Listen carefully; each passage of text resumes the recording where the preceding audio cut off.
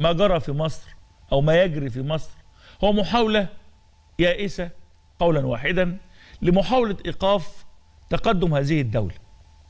هذه العبارة هعيدها تاني لأنه ممكن يتقال إنه أي كلام بيتقال. لا مش أي كلام.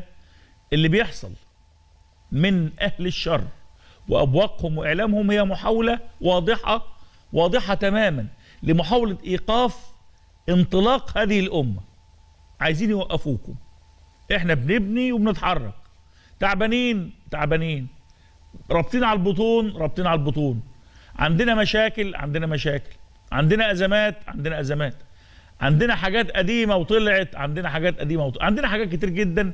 كل ما يمكن إنه تعتبره أزمة موجود.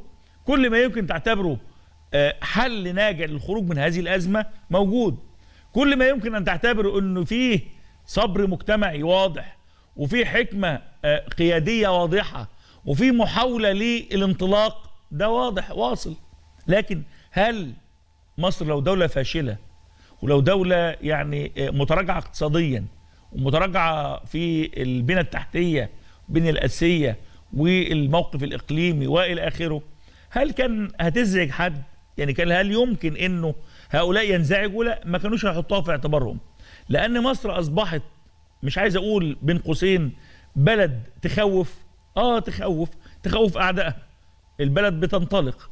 معدل النمو بتاع مصر خلال الأعوام الماضية وجبتها لحضراتكم على هذه الشاشة مرارا وتكرارا وقلنا إنه معدل النمو في مصر هو أكبر معدل على مستوى العالم للدول الناشئة. وقلنا إن أداء الجنيه المصري كان هو الأفضل على مستوى العالم آه، آه، رقم اثنين على مستوى العالم في الاقتصاديات الناشئة أيضا. قلنا إن معدل البطالة اللي حصل في مصر الناس اللي بتشتغل يعني آه، آه، والناس اللي قاعدة في في البيوت مش لاقيين شغل أو على القهاوي انخفض لأول مرة منذ 11 عام. قلنا حاجات كتير وكلام موثق وكنا بنتحدى إن حد يقول إن في رقم أو في آه، إحصائية أو في نسبة مش صحيحة.